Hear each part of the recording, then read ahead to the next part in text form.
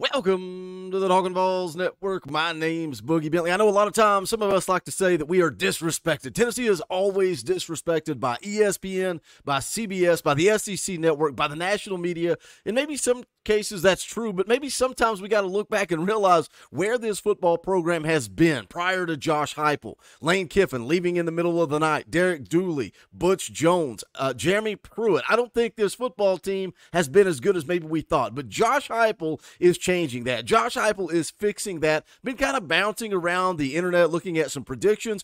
Vegas just dropped some betting lines. I also saw this uh, SEC Unfiltered put out a video 2024 best case and worst case scenarios for Tennessee football. What do you guys think? Best case scenario 10 and 2. I may disagree a little bit with that. Worst case, the floor for Tennessee is 8 and 4. I think that's pretty spot on. We're going to get into it. We're going to talk about it. We're going to take a listen to what SEC Unfiltered had to say, but as always, I need you guys to do that YouTube stuff for me. Hit the thumbs up just below the video. It's quick, free, easy, and it helps the channel. Also, if you are new to the Talking Vols Network, welcome. Uh, we're not experts here. We're not insiders. We're not media. We're not reporters. We're not journalists. We don't break news. We talk about the news. This channel is for the fans, by the fans. If you like what we do, make sure you subscribe. Click that bell for notifications. You're not going to miss out when we go live or when we drop a video. Going to be live tomorrow night, Friday night, 7 p.m. Eastern Time for a watch party. Tennessee versus Vanderbilt on the diamond. We're going to watch the baseball team, number one ranked team in the country go out and play on Friday night. It's like hanging out with your boys, watching the game, talking. We'll chat up some Tennessee football. We'll talk about recruiting, transfer portal. We'll have a good time tomorrow night, but make sure you tune in for that. So let's go over and take a listen uh, this is the SEC Unfiltered podcast on YouTube, and I think this guy was pretty spot on with what he had to say. Again, he had the ceiling at 10 and 2. He kind of rattled off some of the automatic wins UTC, Kent State, UTEP, Vanderbilt. Uh, the most intriguing games he said on this schedule Oklahoma on the road and then Alabama in Neyland Stadium. He talked about some of the other games there as well. Uh, but let's listen to what he had to say about the floor because I thought these were very interesting points about the floor for Tennessee in 2024. Like, I think last year, guys, I think la- why last year was so big. I think Tennessee under Josh Heupel set the minimum expectation. I think set the floor for the program, if you will, going eight and four, winning eight games in that regular season, right? I, I think they did because I think you last season was so it felt like cruise control, right? That's what we kept saying all year long. This feels like we're in cruise control, just trying to get to 2024, trying to get to the Nico era, trying to be loyal to Joe, but go out and win as many football games as possible. But it didn't feel like 2022, and it didn't feel the way this this football team feels going into 2024. But is that the new floor? Do you agree with what the SEC uh, podcast Unfiltered is saying here that the new floor for Tennessee is eight and four. It doesn't feel like you know the Butch Jones years, the Jeremy Pruitt years, the Derek Dooley years when we were fighting just to get bowl eligible. It was a win to get bowl eligible. Now it's an expectation, an unspoken expectation. We don't even talk about getting bowl eligible. That that is so below the floor. But getting bowl eligible is beneath the floor for this program in 2024. Let's hear a little bit more you look at what Tennessee football was before Josh Heupel, for over a decade, they were in the woods. They were lost in the forest, right? They were abysmal for Tennessee standards, right? I mean, they just were, right? A 500 program. I think Josh Heupel has gotten this program back to a point from a talent standpoint, from an expectation standpoint, where eight and four is the absolute minimum expectation. Guys, I think you look at the schedule. I mean, in a worst case scenario, I guess you lose to Georgia, you lose to Bama, you lose to Oklahoma we're almost reaching for that fourth loss, right? We're reaching for the fourth loss. Is it Kentucky at home? Is it Florida at home? Do you get upset by Mississippi State at home? Is it NC State at a neutral site who, you know, I don't know if NC State's ready to beat a Tennessee. So I'm setting the worst case scenario at eight and.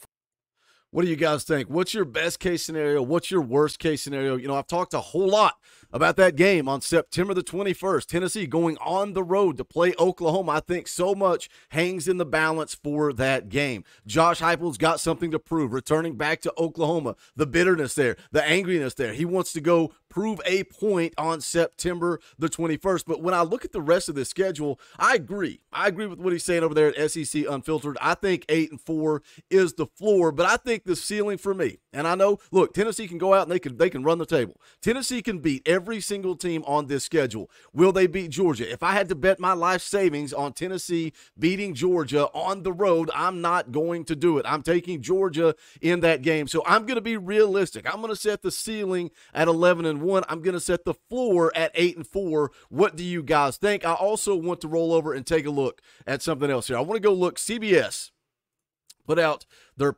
SEC post spring power rankings. I want to pull it up and I want to take a look at it to make a point uh, about the schedule as we look ahead to 2024. This is again CBS Sports SEC post spring power rankings. Georgia fends off Texas for number one spot. Alabama lands outside top three. Now, I know there's a ton of buzz around Texas right now, and rightfully so, right? They're coming off of a college football playoff appearance. I get it. I don't necessarily buy into the Texas hype, and we'll see. We'll see what happens. Went on Locked On Vols last week. One of the questions that Kaner asked me, he said, let's break down, let's rank the SEC coaches from 1 through 16. And Steve Sarkisian is a guy that everybody has right up there at the top. They've got Steve Sarkisian right up there, chomping at the bit, right on the heels of Kirby Smart. I don't see it, and maybe I'm wrong. I don't think he was very good at Washington. I don't think he was very good at USC. Yes, he went to the Saban rehab program, had one good year at Texas last year, a college football playoff appearance. We'll come back to that in just a second. Let's take a look at the SEC post spring power rankings.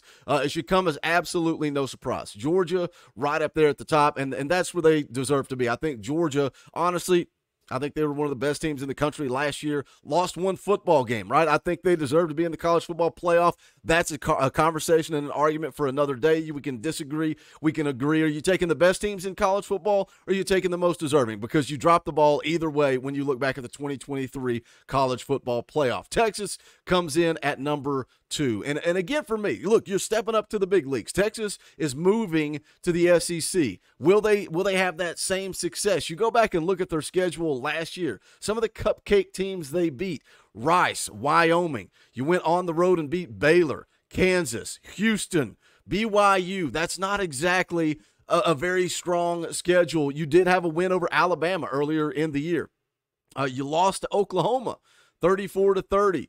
Uh, let's see, who else did you beat? You uh, you obviously lost to Washington in the college football playoff, but that schedule was not a gauntlet. It wasn't a murderer's row. Let's see what they look like in 2024 in the SEC. They've got to play Oklahoma again. Now you've got Georgia on the schedule. The Gators at Arkansas, Kentucky at Texas A&M. How much more difficult is that schedule? We'll see how Texas holds up. And this could be one of those takes where, uh, well, Boogie, you really had no idea what you were talking about. I just want to see Texas prove it it. I want to see it in the SEC, and they're going to have an opportunity to do that in 2024. Ole Miss comes in at number three. Alabama at number four. And, and that's an interesting one, too, obviously, with Nick Saban retiring. How good is Kalen DeBoer? That's something else that me and Kaner talked about on Locked On Vols last week is how good is Kalen DeBoer? All he's done is win. He's won everywhere he's been. He's got a career record of 104 and 12, but again, he hasn't done it in the SEC. I, I, we'll see how Alabama does. Missouri comes in at number five, Tennessee at number six. And the thing, I, you know, you look at these SEC rankings from CBS.com, and you look in front. You look in front of Tennessee. They come in at sixth. They don't play Missouri. They don't play Ole Miss. They don't play Texas. So two teams in these power rankings that they actually play. They go on the road to play Georgia, and then they play Alabama at home. Now, some early betting lines came out. Uh, I think it was yesterday. They they hit social media. Tennessee opened up as a five and a half point favorite against NC State. And I know that's a game uh, that Coach Jay has circled on his calendar. He was a little concerned. He was a little concerned about that NC State game. Is Boogie overlooking that game in Charlotte? I like Tennessee. I thought, you know, when we talked about that, I said I felt like Tennessee would probably be favored by a touchdown, maybe maybe two scores, maybe ten points. They come in as a five and a half point favorite against NC State. They also opened as a five point underdog on the road September the 21st against Oklahoma. That one kind of surprised me. I thought that would be a little tighter. I'm not surprised that Oklahoma's the favorite there. Again, you're going on the road, hostile environment. They're going to be welcoming Josh Heupel back to Oklahoma. I think he's going to have something to prove in that game. That's the one that I've continued to harp on when we're looking at preseason predictions is that game September the 21st. I think that's the difference in maybe a 9 and 3 season versus a 10 and 2 and a college football playoff appearance. I think Tennessee, I like the way they shape up against Alabama. It's at home. I think that is a key in that game. Uh, they also opened as an 11 point favorite over the Gators. Georgia, 17 and a half point favorite over Tennessee on the road November the 16th. What do you think about that one? Uh, but what do you guys think? Again, a lot to unpack there. Just a lot of preseason predictions and power rankings and odds coming out. I, I think I'm I'm going 10 and 2. I told you guys I was between nine wins and, and 10 wins in you know going into the spring. I think spring kind of put me at that 10 win mark. Way too early predictions, betting lines, win totals. Uh, is Tennessee being disrespected or are they starting to get that respect that they deserve? Jump in the comment section. Let's talk about it. As always, smash that thumbs up on the way out the door. Uh, you guys know where you can grab your Talking Vols merchandise. You can go to bonfire.com slash store slash Talking Vols. Also, shout out to you members of the channel. If you don't have a Power T beside your name, you like the content, the live streams, the videos, whatever it is you like about this channel, think about hitting that join button over beside subscribe. You can do that for as little as a dollar a month. You get custom Talking Vols emojis, access to fan call-in shows, all kinds of fun perks and benefits. But that is going to do it for this one. This is the Talking Vols Network. My name is Boogie Bentley. Go Big Orange.